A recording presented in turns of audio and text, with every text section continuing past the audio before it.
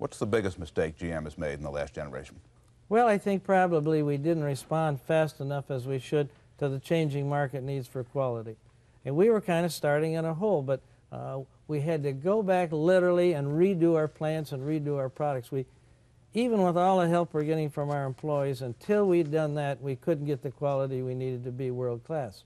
But we know we can do it now. That was Louis Rukeyser talking with the then head of General Motors, Roger Smith of Roger and Me fame, back in 1987 about where the auto industry had gone wrong at that point. Now the auto industry is trying to avoid the mistake of not changing fast enough by moving at breakneck speed to an electric vehicle future, one that auto workers fear will leave an awful lot of them behind. Here to put in perspective what a major auto strike can mean is Bloomberg's international economics and policy correspondent, Michael McKee. For the automakers and their employees, this may be as existential a labor conflict as we've seen since the days of Roger Smith. GM, Ford, and Stellantis have made big profits in recent years, and union members now want a piece of those, given the concessions they made in 2008 to keep the automakers alive.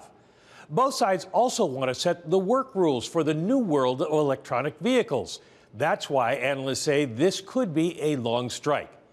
We don't know who will win the face off, but we can make a pretty educated guess as to who loses equity investors. History shows auto strikes don't have a big impact on the macroeconomy. This walkout could affect up to 146,000 workers, which would represent only about 1% of manufacturing employment.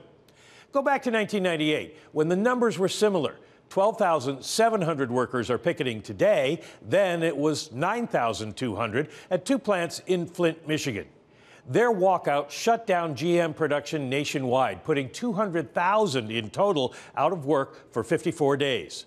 You can see the dramatic impact on the auto industry production numbers and employment in the third quarter of 1998, but you can't see it in the GDP numbers. The losses were made up in the ensuing months. But there can be a big ripple effect in the markets. The 1998 strike cost GM $2.3 billion in profits, and of course, the stock plunged.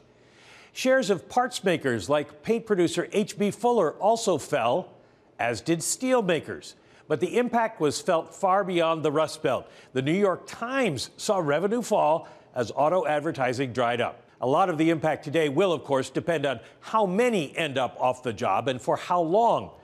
Given this strike is, for the first time, against all of the big three at the same time, there is reason for investors to be concerned.